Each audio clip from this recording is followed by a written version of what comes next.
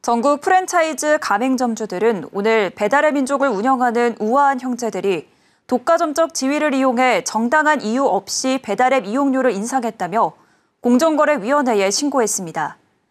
협회는 다른 배달앱 운영사들이 이용료를 장기간 일정 수준으로 유지 중인 상황에서 배달료를 인상한 정당한 이유를 스스로 입증해야 한다고 요구했습니다.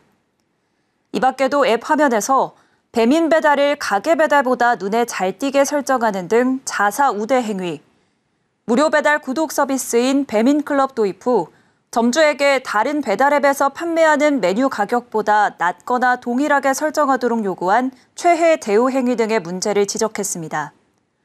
앞서 우아한 형제들은 지난 2022년 3월 점주가 부담하는 배민 배달 이용료를 주문건당 1,000원 정액제에서 주문 금액의 6.8%인 정률제로 바꾸고 지난 8월에는 배민 배달 수수료율을 6.8%에서 9.8%로 인상한 바 있습니다. 배달 수수료가 너무 높아져 가지고 팔면 팔수록 손해가 되는 구조가 되어버렸습니다.